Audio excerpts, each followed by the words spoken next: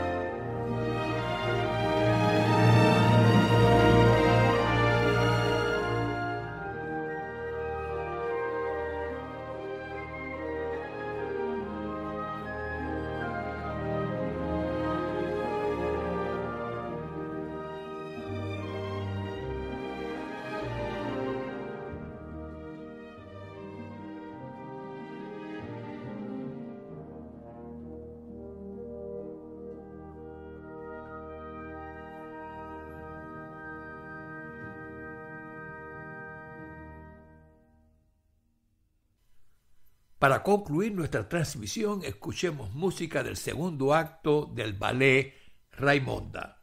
Les habla Octavio Choi, esperando que este programa con la bella música de Alexander Glasonov haya sido de su agrado y que nos sigan escuchando.